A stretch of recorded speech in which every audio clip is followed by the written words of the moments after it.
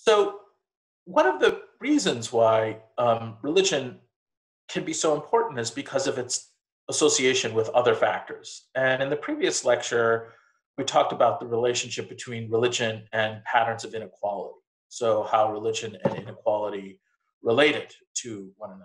And in this lecture, what I want us to talk, think about a little bit is um, uh, how religion is also intertwined with politics.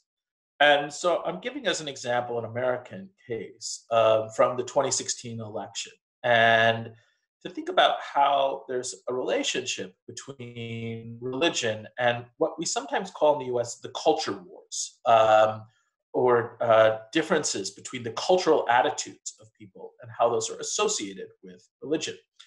So, if you look, for example, at exit polls from the 2016 election uh, between Hillary Clinton and Donald Trump, you see that exit polls showed that more than 80% of evangelical Christians um, uh, um, uh, voted for uh, Trump. And that's um, uh, um, uh, um, all evangelical Christians.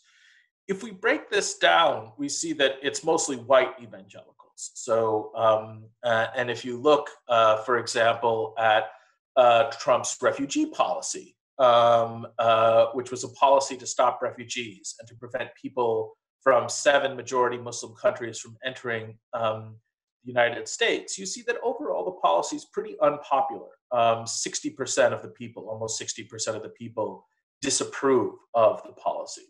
You see, as might be fairly um, uh, predictable, that there's a big uh, political divide, that Republicans, the party that Trump is far from, are highly supportive of it, with 81% supporting, and Democrats, or people at least who lean Democrat, are very much against it, um, uh, almost 90%. And so some of this has to do with the policy, and some of this has to do with politics. But if we break this down by religion, we see something very interesting. Um, Protestants are pretty evenly split in terms of their policy of stopping refugees and preventing people from majority Muslim countries entering the, the US. Um, uh, and yet, it's not the case that that 50% is equivalent for all Protestants. Um, because if you look at Black Protestants, for example, um, which includes um, Black evangelicals, 84% are opposed to the policy. And by contrast, if you look at white evangelicals, 76% are in favor of the policy. Now, you know, the reason some of this is interesting is because um, uh, uh, in the story of Christ, Jesus is a refugee. Um, he's actually a political refugee. Um, his parents are, as um, they flee political oppression in order for him to be born. And so, um, uh, you know, you, you would imagine that um, uh, Christians may be more supportive of this. And yet we see, um, you know, really interesting patterns where white Catholics have different attitudes than Hispanic Catholics. That's not that surprising, and that the unaffiliated are particularly not supportive of these policies. But overall, what I'd like you to know is that um, there tends to be religious patterning um, uh, along political lines, but that that religious patterning is intersectional. So in previous lectures, we've talked about intersectionality, that we can't understand single variables alone, or rather that single variables often intersect with other variables. In a lecture on intersectionality, I talked about another way of thinking about this, which is to think about interaction effects, how variables interact with one another in order to create different kinds of dynamics. But either conceptualization, either the intersectional approach or the interactionalist approach, suggests that, that um, religion intersects with things like race and other kinds of variables to help predict how people act politically. So, you know, there's a strong relationship with the religiously unaffiliated and politics in particular. Uh, the religiously unaffiliated, meaning people who maybe identify as atheists, but maybe don't, they just don't identify with a particular religion. Researchers find that there's a growing number of religious nones. And these are people that is, they have no religion. These are people who are raised religiously but reject the affiliation as a reaction in part to the religious life, uh, right, excuse me. Um, and so a question would be, what is the source of this divide? Um, uh, and, you know, many argue that these kinds of divides are leading to a culture war between white conservative Protestants and progressives who are less and less affiliated with organized religion. And so some of the politics of whiteness in the United States is a politics also of religion. Um, but I'll note that when people talk about evangelical Protestants, what they typically mean are white evangelical Protestants, because Black evangelical Protestants and Hispanic evangelical Protestants have different trends. So um, it's important to be relatively specific about the groups that we're talking about, and also to note that religion is associated not just with patterns of inequality, but with major religious uh, political divisions in the United States. I'll say that again religion is associated with major political divisions in the United States. Um, and uh, um, so, uh, one of the things that we look at in the US in terms of US politics is how this is playing out um, with different political parties, with different political policies, uh, etc. Now, the politics of religion is also related to gender and sexuality. So recently, the issue of contraception pitted women's rights against religious freedom. A Supreme Court case involved the Little Sisters of the Poor, who argued that they should not have to provide contraception to employees working in their nursing homes. So they shouldn't have to provide access to birth control as part of the health care that they were required to provide to their workers or offer as, as an option for the workers. The six sisters argued that even the Obama administration's compromise that allowed them not to cover the devices and medications, but for their employees to obtain them for free from the federal government, was a violation of their religious beliefs and the American right to religious freedom. The Little Sisters case came on the heels of a Hobby Lobby case, where the company sued for and won the right not to provide access to some medications and devices they considered to be abortion inducing. And the politics here is a politics of abortion, um, uh, and that politics of abortion is tied to uh, politics of providing certain kinds of contraception. Because the ways that certain kinds of contraception work is not to prevent conception of children, but instead to um, uh, uh, allow for or to um, have women have their period even after they've conceived a child. Um, and so some people on the religious right will consider this an abortion. Um, and therefore, they won't want to support certain kinds of medications or devices that may facilitate this. So, conservative religious groups generally oppose abortion. They also oppose feminism and homosexuality, the broader LGBTQ community. Um, and although both, although the proponents of the two cases argued that they were about religious freedom, they're also about sexual conservatism and women's rights. And so progressive religious groups and non religious um, uh, people support, in general, abortion uh, feminism and uh, the rights of LGBTQ people. I'll note that um, actually the support for abortion in the United States is very strong. Uh, um, a majority of people are supportive of abortion. Um, it is a very, very active minority um, that is opposed to it. And, but the divisions between religion and these gender and sexuality dynamics become most apparent when laws are involved. So as the federal government began to be more involved in the provision of healthcare, in providing healthcare for people, fights over uh, the kinds of things that the federal government would pay for as part of its healthcare became more and more vigorous, more and more um, um, um, uh, passionate. Uh, this opposition of uh, conservative religious groups to abortion, feminism, um, and homosexuality is also something that has waxed and waned. And so, you know, one of the things that you might want to look into if you're really interested in this is how abortion became such a major hot button political issue and polarizing um, uh, because it's a relatively recent phenomenon. Um, it's a relatively recent phenomenon, and it's also deeply American. Um, uh, so, other nations, if we were to look at Germany, for example, um, the this response to abortion is not nearly as strong with um, uh, right-wing political movements, um, and and so there's a coupling of religion and particular kinds of politics that are part of political processes. And if you're really interested in this, we'll talk a little bit about it in future lectures on political sociology. We also can't understand um, religion today without thinking about violence. And this is a fairly evocative image of um, uh, the attack on the World Trade Centers in New York, of um, uh, um, uh, by Al Qaeda, or really by um, a group that identifies as a, as a kind of um, extremist Muslim group committed to violence. And we sadly know that many lives have been lost due to terrorism and to um, um, uh, the US's commitment to uh, uh, a kind of religious violence.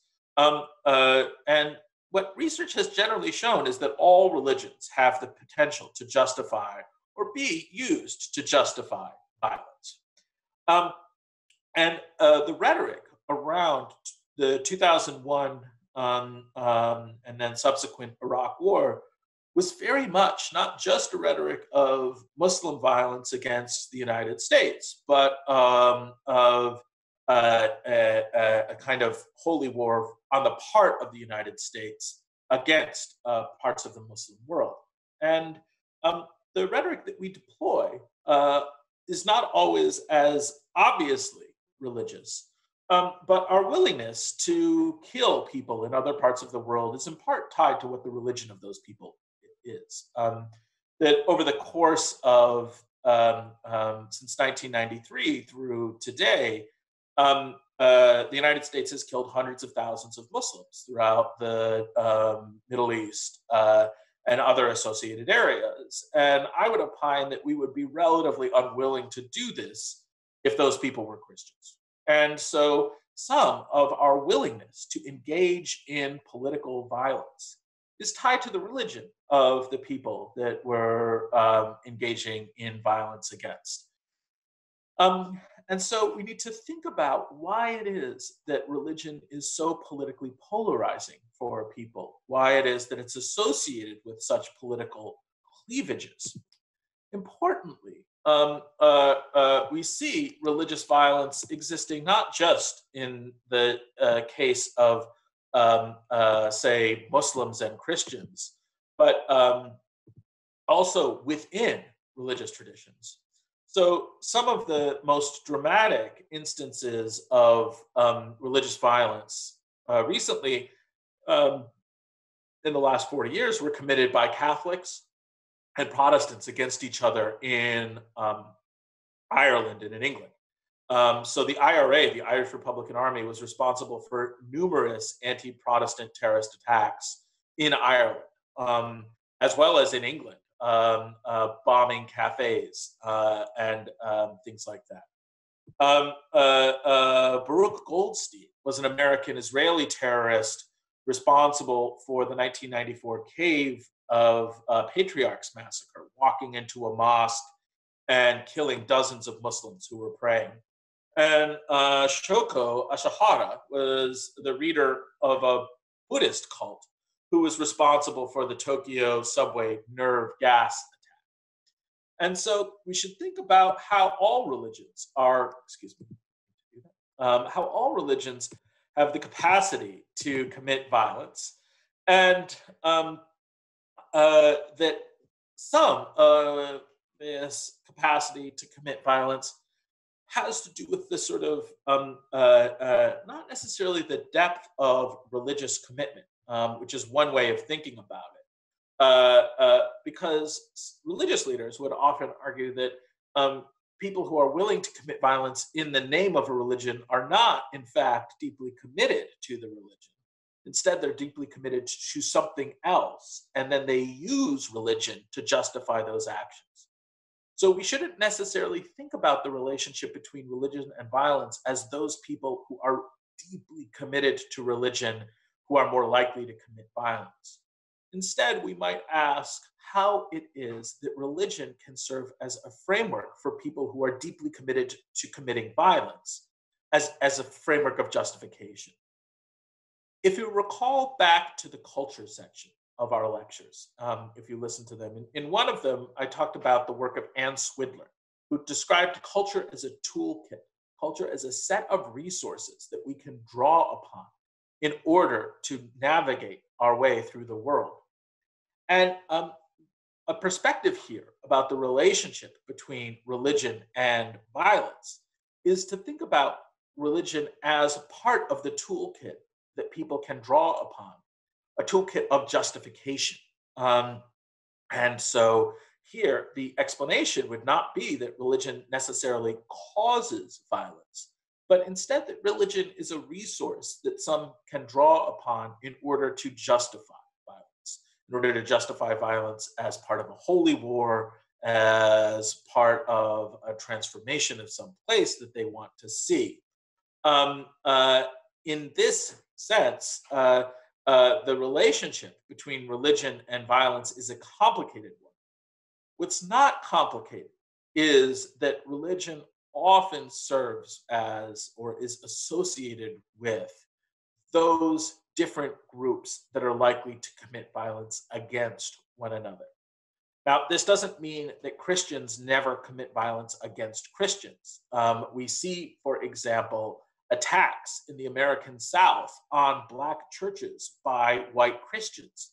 And so there's certainly a willingness to do that. Or we see in the case of the IRA a commitment of Irish Catholics to commit violence against Protestants, um, Protestant civilians, as part of a political struggle. Um, so it's not that people within uh, uh, religious groups never commit violence against one another.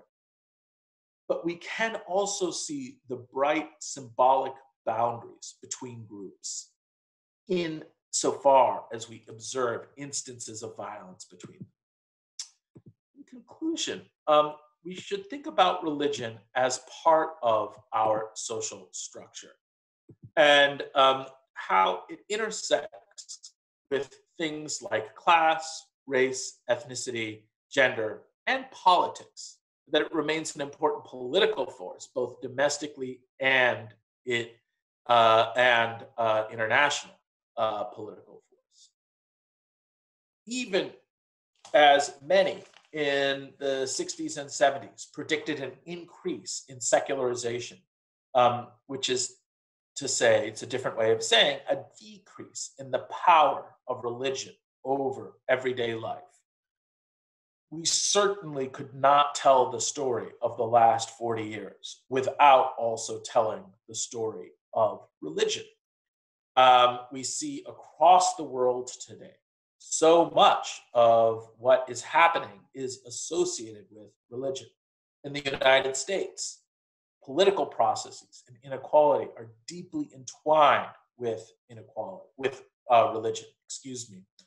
In China, currently, there's a series of political actions that are deeply associated with uh, the group of people who are Muslims, and that though that we cannot understand what is happening relative to a series of camps without thinking about those group of people as Muslims. In and throughout the Middle East, the struggles over the Middle East are fundamentally about religion, about a relationship between Jews and Muslims and control over land. In international conflict, as I said before, one cannot understand the, the US's willingness to do large scale political violence against groups without knowing what the religion of those groups are. Um, and so, po- all of the claims about processes of secularization, of how we have become less religious, may be true in part in our daily lives, some aspects of our daily lives. Um, for many of us, certainly have less religion embedded within them than they did, say, two generations ago. But religion is deeply enmeshed in our social structure. It's enmeshed in structures of class and inequality, differences across racial and ethnic groups, gender, and how uh, different people understand things like feminism, the LGBTQ community, and most of all, politics, both domestic politics and international politics. Um, as a sociologist who does not study religion, religion is not part of the work that I do. Um, I will say that I think that um, uh, I think there's far too little work done in sociology on religion. Um, that is a major, major political, economic, cultural force, um, and uh, its popularity within sociology has declined. And I hope that for some of the people listening along and, and, and, and being part of this lecture, that you think about maybe religion as an area that you might do work in, um, because I think there's a lot of opportunity to do work in this area, in part because it's such an important area uh, um, um, for understanding our contemporary social